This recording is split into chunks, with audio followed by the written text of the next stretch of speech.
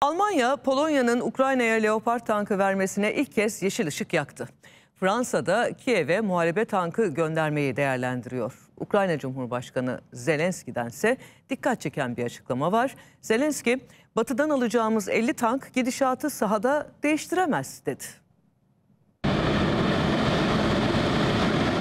Ukrayna'ya muharebe tankı sevkiyatına karşı olan Almanya tutumunu yumuşatıyor. Berlin, Alman yapımı Leopard 2 tanklarının Ukrayna'ya verilmesine ilk kez yeşil ışık yaktı. Almanya Dışişleri Bakanı Annalena Baerbock, Polonya'nın elindeki Leopard tanklarını Kiev'e sevk etmesine engel olmayacaklarını açıkladı. Bu tankların ne kadar önemli olduğunu biliyoruz diye konuştu.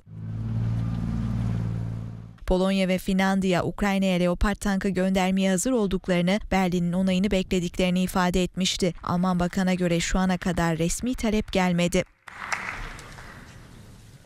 Ve Fransa. Daha önce Ukrayna'ya hafif tank göndereceğini duyuran Fransa, şimdi de Leclerc tipi muharebe tankı gönderme ihtimalini değerlendiriyor. Fransa Cumhurbaşkanı Emmanuel Macron sevkiyat için belirli kriterlerin bir araya gelmesi gerektiğini vurguladı.